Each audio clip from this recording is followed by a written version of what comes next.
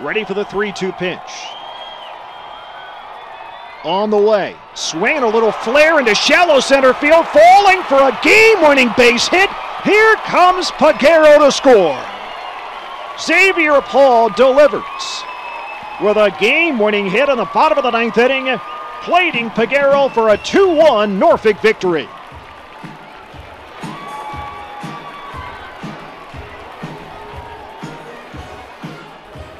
Well, he didn't get all of it. Eh, just a soft little flare out into shallow center field. But more than enough to get the job done eh, as Xavier Pauls hit here in the bottom of the ninth inning eh, provides the Tides the decisive run in a 2 1 victory tonight.